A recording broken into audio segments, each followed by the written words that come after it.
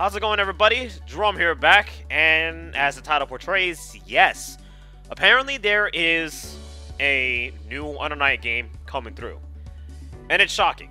Now, a lot of people at this point would be like, Jerome, why, why are you shocked? Like, obviously it was gonna happen.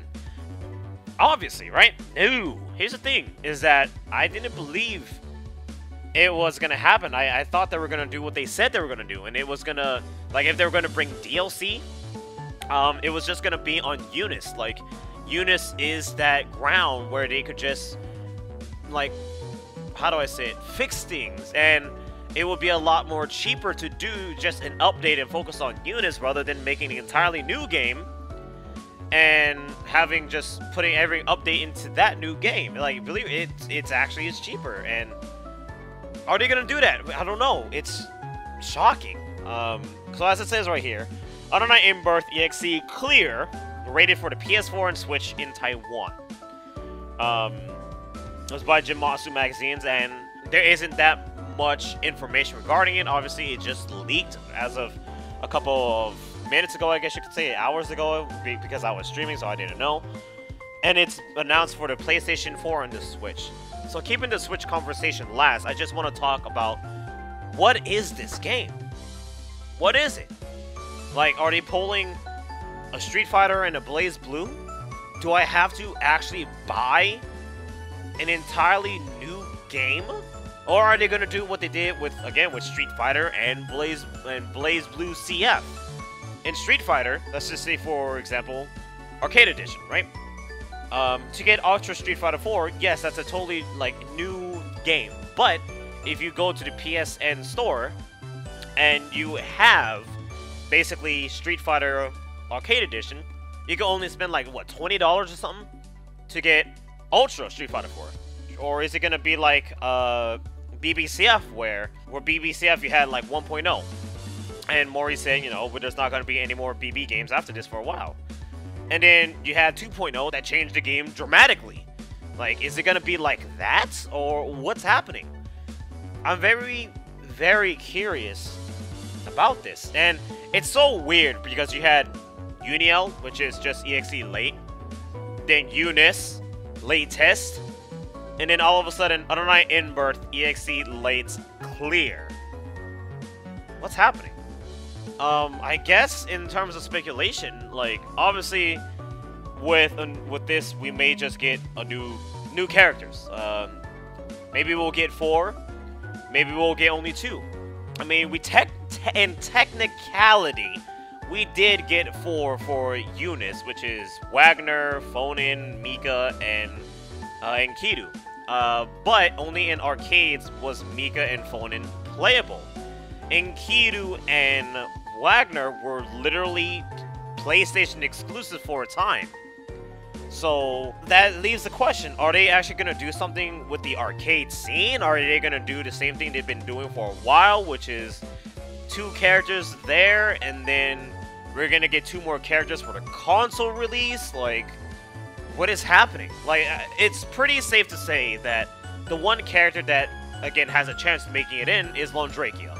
Londrekia, Ice Dude, basically, like, he sees Wagner as a rival, little, like, buddies with Merkava, not literally, but you get it. And then we got uh, Kaguya, I think her name was. She is, like, the friend of Orie. She is a friend of Mika. She's basically a priest-looking character with, uh, with guns, obviously. You gotta have that in anime fighting games. But then, if they really do take the route of two characters for the arcades, and then we get two more characters for the console, what's actually gonna happen? Like, who else is gonna be there? Like, are they are they actually gonna put like uh freaking like ogre? Like, are they gonna go with Voided Roger? We again just speculations. It's just very odd that this is happening. No release date whatsoever, um, and I'm pretty damn positive this will definitely come out. Probably sometime after Evo. Uh, but the fact remains is that it's a thing. It is a thing, and given its past events, with its arcade runs to its console runs, I am very curious if we're gonna get four more characters or we're gonna just get two. And before anybody say, well, four seems a little bit too much for French bread. And you're right, French bread, you know, they, they, they do the budget, but they put in that soul when making their game. You guys got to remember is that they hired, um, they expanded their offices like twice in the same damn year. It is crazy. They hired battle programmers, programmers in general. They hired a ton of pixel artists. Again, they expanded their offices multiple times. They're they're getting that work. They're they're having a lot of hands. So maybe just maybe four is what we're getting. Four characters. But the question remains, who? Anyways, going back on topic with the Switch announcement, I am not shocked. Uh, but at the same time, I'm kind of happy. Like, the thing is, is that Under Night is was never a ultra graphically powerhouse of a fighting game. It's bare bare minimum, especially with its stages. It's like, oh, you're gonna, I'm gonna fight on a rooftop with the moon. Oh, I'm gonna literally fight under a highway and stuff like that. Oh, I'm gonna fight in a mall. That it's very very basic, and not not in a bad way, but that's just how it is. And then you gotta compare it to like, oh, BB is on a Switch, and that shit has crazy ass stages, things happening left and right. Um, and then you have Dragon Ball, where Dragon Ball you could do, you could literally do 3v3 on the damn Switch, and it's just utter chaos on the Switch.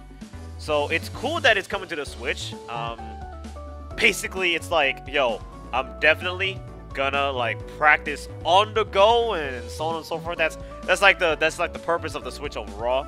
Now it's just to practice on the go in, in terms of a fighting game. Um, but I'm happy. I'm happy that it's coming to the Switch. And maybe this will help it even get more into the public eye.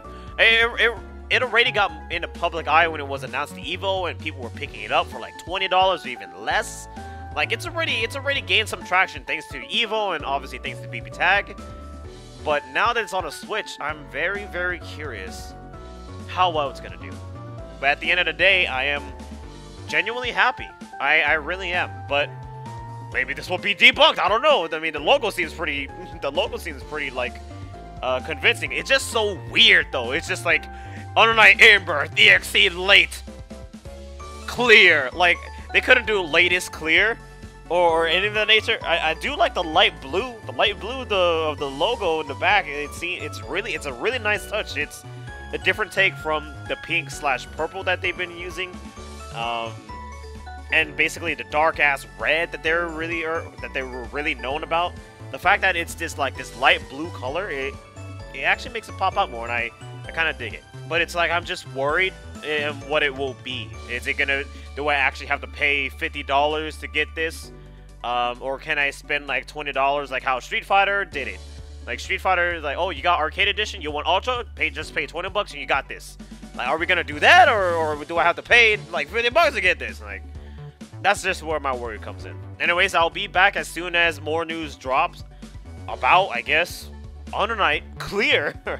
um, my name is Jerome, and I will see you guys within the next video.